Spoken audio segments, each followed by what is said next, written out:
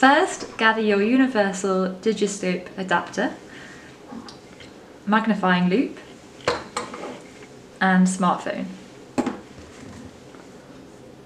Place the lower end of your phone in the Digiscope adapter clamp,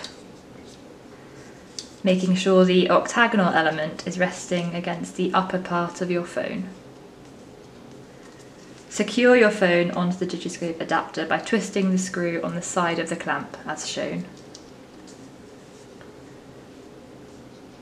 Position the octagonal element of the Digiscope adapter over the camera of your smartphone and secure this in place with the twisting screw over the back of the adapter as shown here.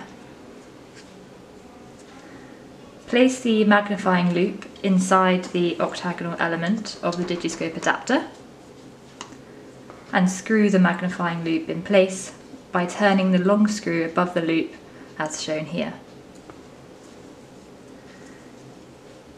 This is how all the elements should look when placed together correctly and secured.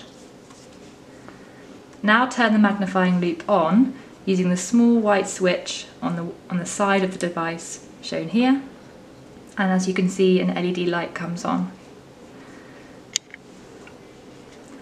Open your phone's camera and ensure the field of view is satisfactory. You can adjust this if necessary and your dermatoscope is now ready to use.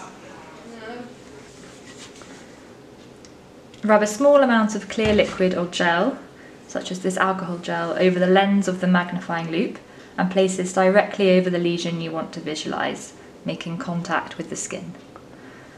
Now observe your lesion through the camera and interpret your findings.